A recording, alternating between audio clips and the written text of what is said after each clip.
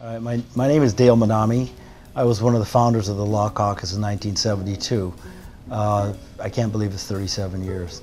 You know, there's so many fights that the Asian Law Caucus has undertaken for our community. Their work has reverberated throughout our country. They've really been a trailblazer in so many issues that we care about.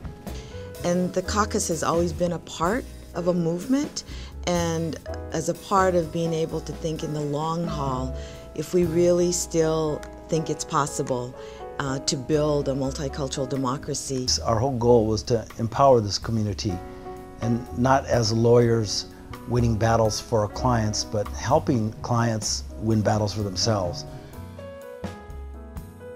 whether it be through communications, through mobilizing the community, through strategic litigation. TT and the caucus are part of the new vanguard of moving forward a progressive vision. You know, it's really a privilege to lead the organization at this point in the organization's development. I feel like, you know, we've we have a really long track record of responding to the needs in the Asian community. But I think you know the other really powerful thing is that while we have the connection to our past and the strong base of support, we also are always looking to see you know what is the new dimension that we have to add on in order for our work to achieve as much impact as it possibly can. Just having this conviction cleared, I'm very happy.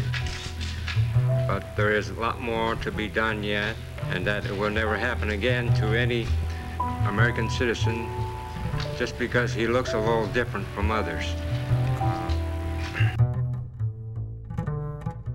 When I was in law school and first read the Korematsu case in constitutional law class, I was horrified at how our community was treated by our national leadership. And so when I learned about what the caucus was doing with the Korematsu case, it was eye-opening to me as a young law student to, to think about what one could do with the law. The Asian Law Caucus was a key part of Fred Korematsu's legal team. It was the only organization involved that had resources to devote to this. Well, my father was a very humble person. Everyone that met him just was very endearing to him and he touched everybody's soul. These cases began by huge acts of courage of individuals, but ultimately raised an important issue before the American public. Little did we know after 9-11 that my father's coram nobis decision would have more relevance and impact you know, now than it even did in 1983 we knew that one of the most important components was going to be education. And so to have a Korematsu Institute continue that legacy of Fred's fight and the legacy of education that we intended to promote is, is remarkable and it's wonderful. We have a number of key programs at the caucus. One program that is really important and led us to even be in this space here at 55 Columbus is our program on housing and community development. So the Housing and Community Development Program really focuses on preserving the low-income housing stock, particularly in areas that are gateway communities for low-income recent immigrants.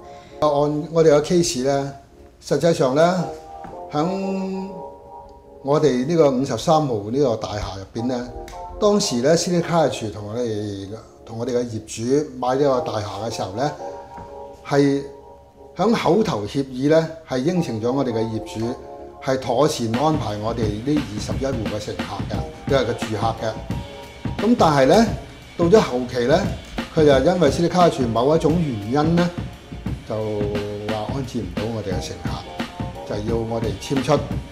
所以咧，因為我哋呢個整棟大廈咧，我哋百分之六七十都係奇英嚟嘅。咁但係呢個時候，你話如果要簽我哋出去，我哋啲奇英點辦咧？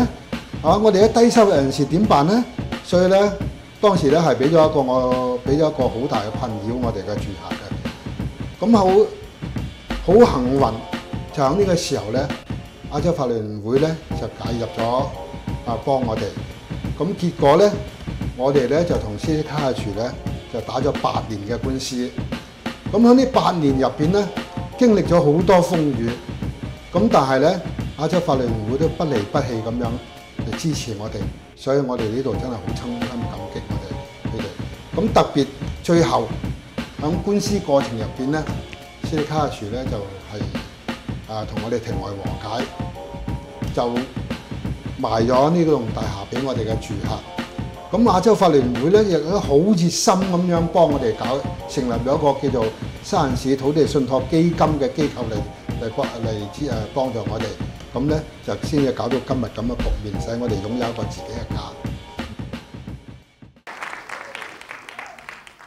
Welcome, welcome. Unfortunately, I don't, my Spanish is not very good. My Cantonese is decent, so I'll stick with English. Okay, great. Um, so the San Francisco Immigrant Rights Defense Committee is the coalition of organizations that have organized this town hall tonight. And on behalf of the San Francisco Immigrant Rights Defense Committee, we welcome everyone.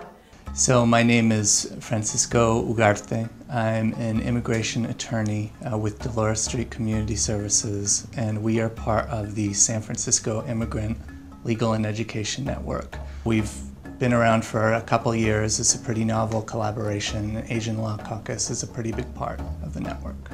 There were 11 simultaneous home raids in the city of San Francisco. Um, from that point forward, we realized that many of these folks did not have any criminal convictions. They were stopped illegally, they were detained unlawfully, and Sinyen and I helped and assisted many of these people were caught up in the raids in um, fighting their deportation case. And unfortunately, today, the raids are targeting Latino community. And Asian Law Caucus is there supporting the Latino community in ways really, I'm not really sure if, if the public is aware of.